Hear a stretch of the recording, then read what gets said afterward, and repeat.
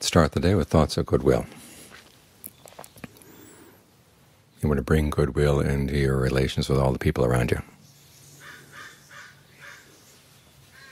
So just tell yourself, may all beings be happy.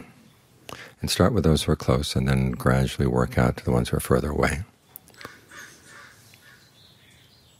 In the commentary, they say to start with yourself and then start with people you love. There's actually a case in the canon, though, where there's somebody who's sawing your limbs off with saws, and if they say start with that person.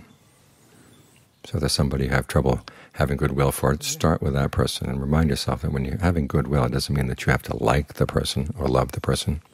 It's simply that you wish the person well. If the person is doing something unskillful, you wish that the person would stop. If they're doing skillful things, you want them to continue.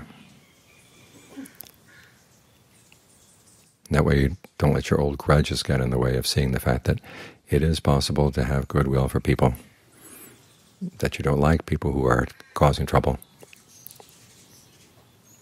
And often those are the ones you have to start with, because those are the ones you have to be most careful around. In other words, careful of what you're going to do and say and think. Because after all, that's going to be your karma.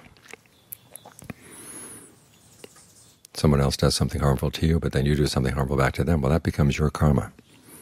The harm they did to you, that's that's old karma, their karma.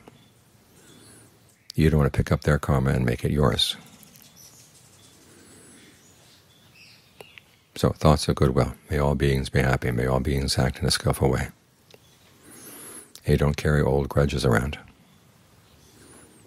That way you travel lightly, and when you travel lightly, you're stronger. When you're stronger, it's easier to do and say and think the skillful thing and to carry it through. All too often we may know what's skillful, but if we lack the strength, then we just give up.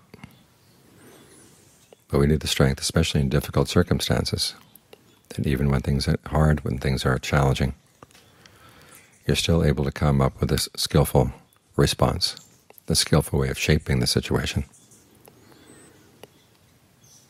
And that skill then becomes yours. That's something you can take with you. So take that with you and leave your grudges behind.